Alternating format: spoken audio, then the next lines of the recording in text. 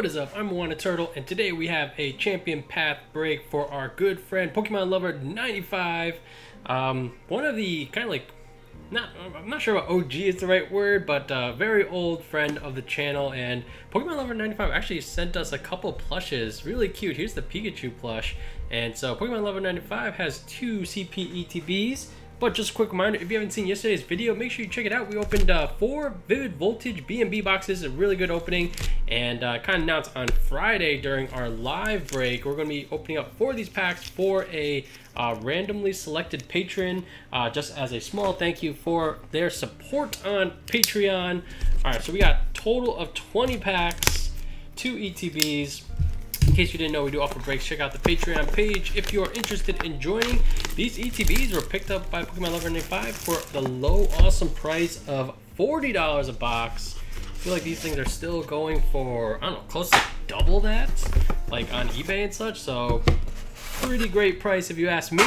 Uh, I can't imagine there are too many places that offer a better price. Let's take a look at the promo. Looks pretty good. If you're interested in sending those to PSA, just let me know. And, uh, alright, I'll just open both of these up first. Just so we can, uh, we don't have to take a break in between. Crack this open. Yeah, Pokemon Lover 95 was actually the original creator of the Discord server that we have. Uh, the link down below if you want to hang out. And so much cardboard and, and stuff. Uh, another 10 packs. And let's take a look at this promo. They do a pretty good job of making sure these things are undamaged. Although I feel like the first couple that we opened had some like edge wear, but uh, these look pretty good. All right, 20 packs. Good luck. Let's see if we can't find Zard number two from Champions Path on this video. Best of luck, and thanks again for the support. We'll go through, we'll still play a couple and then likely speed it up. Let me see, move these over here. Over here. All right. Yell Grunt, Liepard, Ekans, Carvanha Pokeball, a Potion, Rockruff, Beedrill is the reverse, and then a Lycanroc. I think we can go fast. Let's just let's skip the un the commons. We'll go straight to the uncommons. Then into that rare slot. Which means we'll have to do four, two, and then move these to the back. Alright. Sharpedo. Hyper Potion. Rotom Bike. A Sizzlipede is our reverse.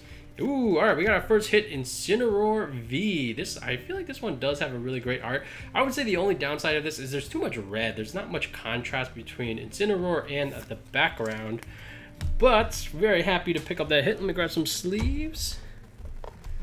Let me put you in a regular sleeve for now. Uh, I feel like the there might be something in this corner. It's very minimal. Uh, still has a chance of getting the 10 if you're interested in that. Alright, Guardian Pack.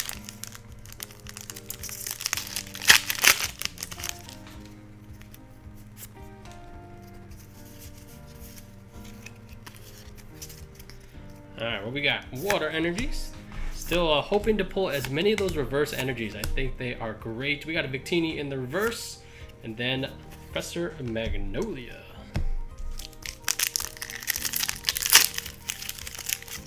But yeah, pretty excited for Vivid Voltage to release in earnest. Um, seems like we will, or well, I am getting a good amount for breaks. Um, by chance, I happen to order more than I typically do. Worked out because, I mean, for especially for a regular set, it's pretty impressive how difficult it is to find, you know, good prices for a booster box, whatever.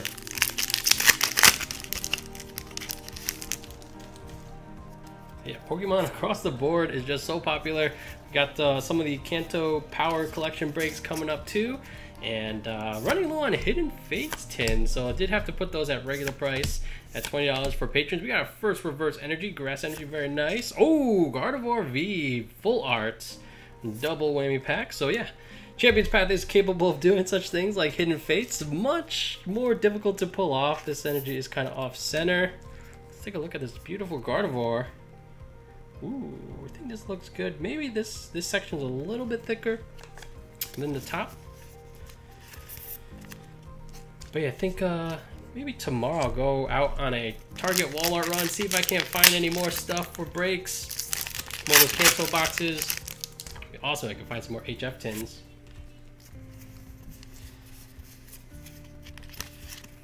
And uh, yeah, live opening Friday, evening 7 p.m. EST. Come hang out with us. And we'll probably do some marbles and such at the end if you play the online game.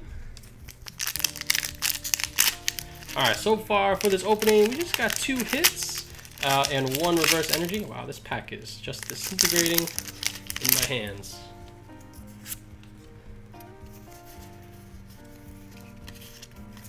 While, like, of course, we want to keep a good ratio of about one hit every three packs. Man, we gotta find that shiny Zard. We did manage to pull a Rainbow Rare V Max, but have yet to find that shiny.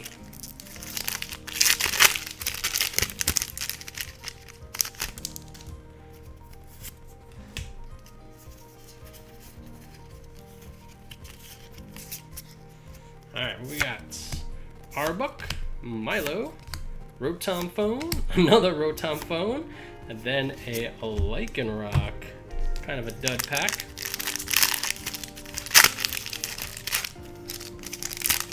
when these when these packs open like this, it's actually kind of annoying. Um, not because it's difficult to open, but then after the after recording, when I'm trying to like clean up, there's just like bits of plastic all over. It becomes like confetti. A bit of a hassle after the fact. Rotom phone into the Rotom bike for the next pack into a, another professor's research. All right, let's get some. Uh, let's get another hit. We are definitely due.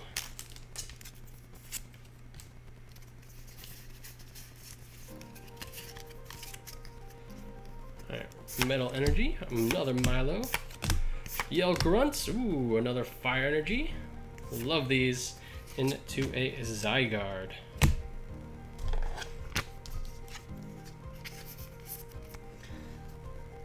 Running low on space with the background. We'll, stack these on here. All right, open up a little bit.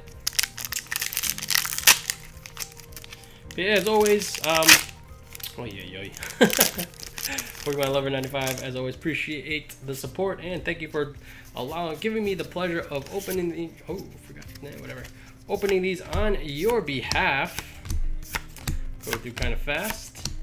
Inkay, Nickits, a Victini into Altaria.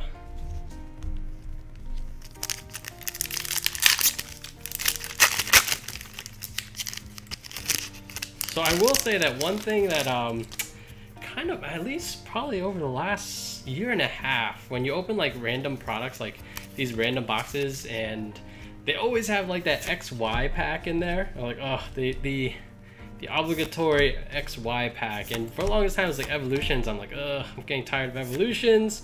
Don't really want anything from it. Um, eventually, it seemed like there was a temporary shift to Steam Siege, which I actually didn't mind because at least those cards I wasn't super familiar with. But Evolutions was like, you know, I was I'm a huge base set buff, so Evolutions didn't quite do it for me.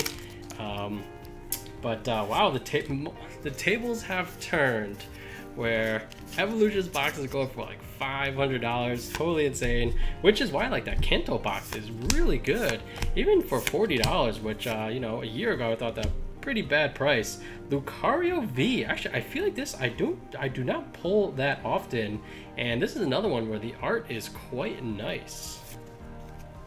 So very nice hit there. Let's take a look at the centering. I think it's pretty good. Maybe not perfect. We'll grab a penny sleeve for you anyway.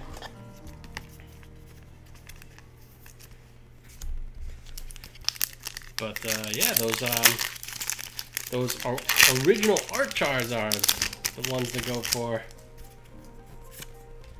I think uh, I had to like look through some of my collection and it's like, oh, I bet I have some of these just tucked away that are not even like sleeved because I didn't think too much of it. Uh, just like, you know what, this is a reprint card. Happy to pull a Charizard. I was looking for like the, the Mega one or the EX. And uh, we'll probably send those off to PSA. But yeah, we'll open some of those on Friday, hoping to find some of them definitely come hang out with us. All right, Machoke, Victini, Hop, a Sharpedo reverse into Scrafty. Okay, so I feel like we're doing just okay. Where at the end of this, we're kind of hoping for like six hits or so. Alexa, stop. Sorry about that. We're looking for six hits. We do have three plus three reverse energy. Ooh. Saw something shiny. I feel like it's going to be a full art based on what I kind of saw from the corner of my eye. Don't think it was a rainbow. Alright, Liepard into... Is this a supporter? Uh, oh, hop. Alright, we'll take a hop. I feel like I've been pulling a good amount of hops. Not too crazy about it, but uh, this one is pretty well centered.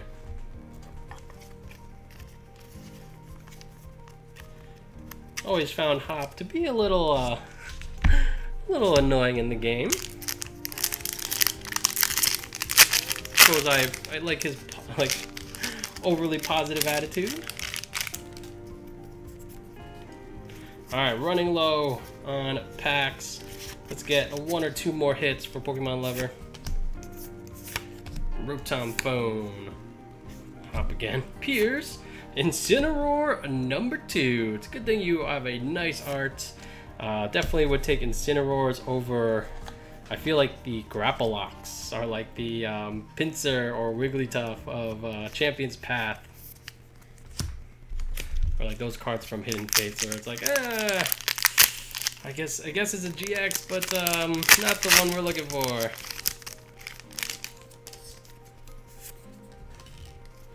All right, three packs remaining. Beedrill, Absol, Kabu, Malamar into a another Altaria. If you are into the idea of creating master sets, like some kind of like binder collection, I will say CP is going to be really easy to do. Um, even, you know, I guess if you just exclude the Zards, I think you could probably assemble on the secondary market like a master set for very, very cheap. For such a small set, and you know, I don't think that many of the non-Charizard hits are really going for much at the moment. We'll take a closer look at that when we finally get to another episode of Pokemon. I'm dying to do one of those. Alright, last pack for Pokemon Lover 95. Once again, thank you for giving me the opportunity and the privilege of opening this on your behalf. Can we get something good in this last pack? Hyper Potion. Ooh, reverse water energy. So we got almost all of them into a Obstagoon for our last pack. So I would say a little bit lower than the ideal ratio, but we did pretty good. Uh, two full arts, two Incineroars, a um, Lucario, and then the two promos do look good. So yeah, um, thanks Pokemon Lover 95, and uh, yeah, um, you want to support the channel, like, comment, subscribe. As always, guys, down below, I'm Wanna Turtle, and I'll catch you guys next time.